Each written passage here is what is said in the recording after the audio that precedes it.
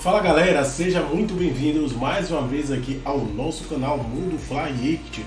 Peço a vocês que nos ajudem deixando aquele like e se inscrevendo aqui no nosso canal, ativando o sininho das notificações e compartilhe nossos vídeos com seus amigos, que assim você irá nos ajudar a trazer conteúdo diários para vocês sobre o time mais amado do Brasil, Flamengo. Agora vamos direto aqui para o vídeo. Mas o Corinthians não quer. O Corinthians falou assim: quer o jogador? Quer se Aí, livrar logo. É, quer se livrar é. logo, né, mano? Então vamos vender. Vai vender, não vai ficar emprestando jogador?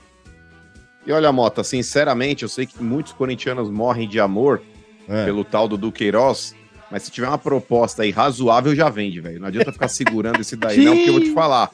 É, eu não boto fé, não, Lele. Respeito quem gosta, quem acha, ah, é do terrão, ah, vamos dar um voto de confiança. Acho fraco. Principalmente nessa posição que o Vitor Pereira estava colocando ele, mais adiantado, aí tendo que chegar mais perto dos atacantes ali, fazendo uma função como se fosse de meia de criação. Sinceramente, não aprovo. Eu acho que Malemal do Queiroz tem que jogar ali de primeiro volante para destruir jogadas e não para tentar construir alguma coisa. O que você pensa a respeito do Queiroz, Lele? Levei um susto, porque quando você começou a falar, tem muito corintianos que morre de amor, eu achei que você ia falar pelo Vital. Falei, nossa, não. só a geração TikToker, né? Porque ele é Esse é aqueles é menininhos que fica fazendo as dancinhas do TikTok lá, é bonitinho. É que Mas o Mano emendou, entendeu, mano? A gente, tava falando, a gente tava falando também ah. do Vital, tá, mano? Porque ele tá falando do Cruzeiro. Não, não, então, mas o Duqueiroz, mano, eu ainda acho que assim, ele teve instabilidades, né? Teve seus altos e baixos quando vestiu a camisa na temporada passada, né, no final, entrou muito bem ainda com o Silvinho naquele time, né? Um jogador que pelo menos entrega raça em campo, que é o que o torcedor corintiano gosta de ver, né? Então ainda tem mais, acho que tem mais mais pontos positivos que o próprio Vital. O Vital uhum. eu acho muito sonolento, muito não vai, né? Não evolui, não desenvolve.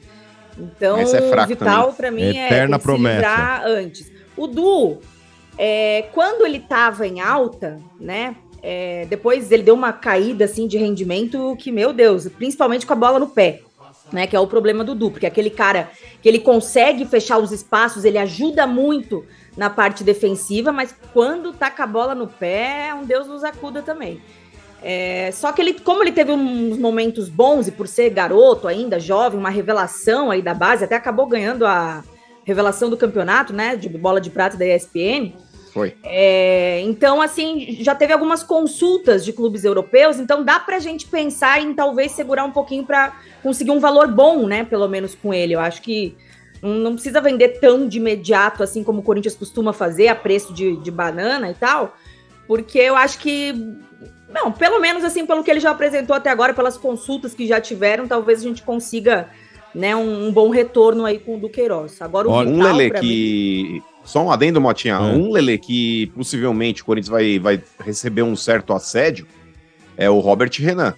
O Robert Renan já tem times aí, inclusive da Rússia, aí, dependendo do, do acerto que o Corinthians vai fazer com o Yuri Alberto.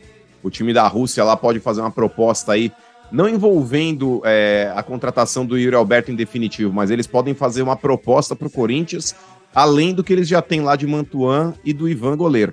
Eles podem estar tá fechando aí o Robert Renan, que é um cara que pelo que despertou Yuri, né? interesse aí no futebol russo. Então, esse é um cara que se pudesse aí realmente segurar, acho que é promissor, porque quando teve uma continuidade de jogos aí, passou a jogar bem. Inclusive, nessa reta final de Campeonato Brasileiro, até adquiriu uma certa titularidade, né, Lele? Porque ele estava mais regular do que o Gil e do que o próprio Balbuena também. Então, inclusive, até é, falar sobre isso, viu, mano? Porque agora o Corinthians está focando em resolver a situação do Michael, né? E do uhum. Yuri Alberto. E ainda não Sim. foram resolvidas essas situações estão pendentes, né? Principalmente do Michael, né? Que o contrato dele acaba em dezembro. E é o mais urgente, né? empréstimo. né? né? Empréstimo tem que resolver. Ou compra, ou empréstimo novamente. Vai fazer o quê? E tem que resolver a situação, né? E o clube lá, ele quer que compre, né? Não quer emprestar novamente. Tá então, Mota, para quem fala que não tem dinheiro, só para finalizar, Dudu, Sim. gastar 7 milhões de euros no Maicon que nessa segunda passagem praticamente não jogou, é uma incógnita hoje. E aí o corintiano tem aquela memória afetiva, ai, tem que recontratar o Maicon, ai, o Maicon nesse meio campo. Gente, tem que parar com esse negócio aí de memória afetiva, porque a gente tá vendo o Paulinho aí. O Paulinho até mesmo antes da lesão não tava jogando nada, gente. Não tava jogando nada. O Corinthians precisa oxigenar o elenco. O Corinthians precisa realmente reformar esse elenco e trazer qualidade e realmente cara jovem, velho. Não adianta ir para um futebol moderno hoje que se exige intensidade na marcação, intensidade quando tá com a bola no pé também. Cara, com, começar a repatriar uma série de jogadores como o Corinthians tá querendo fazer, velho. Romero, sabe? Numa dessa compra o Maicon por 7 milhões de euros. Se tiver Não que vale. investir 7 milhões de euros aí no, no Maicon, Lele, paga 10 no Yuri Alberto, que é a diferença do que o Corinthians vai ter que voltar pro clube russo. Vale muito mais a pena investir 10 no Yuri Alberto do que pagar 7 no Maicon. Jogador jovem, né, mano? É louco. Porra, mano. Ó, só mais uma notícia. também vai querer, hein? Só, só, uma noticinha rápido, mano. O Mosquito operou hoje, viu? Só no segundo semestre que ele volta, viu? É Mas o que é asa? Coitado, Operou o que é asa? Ligamento cruzado anterior do joelho direito, acho que foi, né? Que ele rompeu Porra, com o é, Ele se machucou sozinho, né? Tadinho, né? Modom. Aquela imagem é pesada, né, velho? É isso, Dodox. Tá certo, é Lembra isso. Lembra um né? pouco o Ronaldo, viu, Domênico? Aquela lesão Lembra. do mosquito. Só se for lesão, os dois estavam no auge, só se for estavam no, auge. Ô, deixa eu falar aqui, ô mano, uh, tô tentando falar aqui com o Kleber não deixa, o Kleber tá tumultuando demais hoje. Ah, ô, ô, ô, mano, o, o procede que o, o VP pediu o Yuri Alberto no Flamengo? Tem esse boato, Benja, mas sinceramente eu acho que ainda não.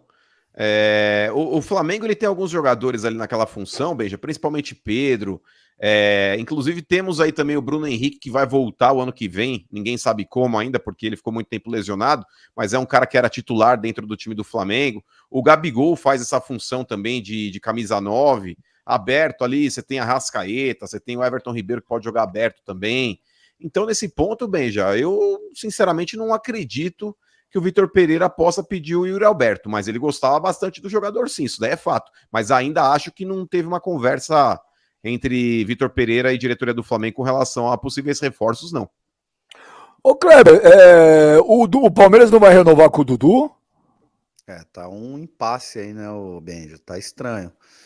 Eu acredito que vão acabar se acertando. O Dudu tem uma história muito boa, muito bacana no Palmeiras, cara. Eu acho que o, nos últimos 10 anos aí é o maior ídolo do, do Palmeiras. Então, eu acho que eu acho que vão acabar se acertando, mas realmente tá, né, não tá, não tá fácil não. Mas enfim, vamos torcer para dar certo aí, Dudu. Dudu tem uma puta história no Palmeiras, merece ficar mais tempo lá.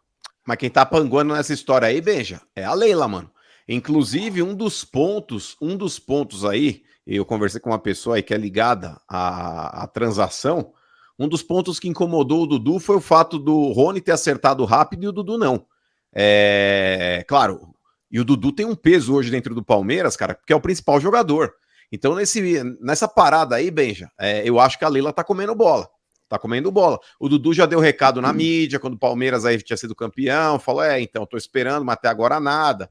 Então, cara, é uma situação aí que a Leila tem que correr contra o tempo, mano. O Dudu aí daqui a pouco, numa dessa aí, um Flamengo da vida vai atrás. A gente já viu que o Flamengo, quando quer, leva, né? Imagina o Palmeiras perder o Dudu pro Flamengo. O